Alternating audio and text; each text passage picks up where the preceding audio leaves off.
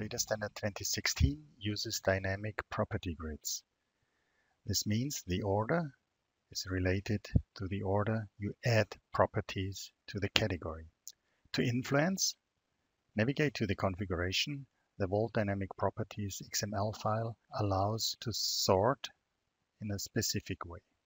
In our example, the project revision A should be grouped to other project fields. Once you edited the dialog using Dynamic Property Grid, the listing is automatically added to the configuration file.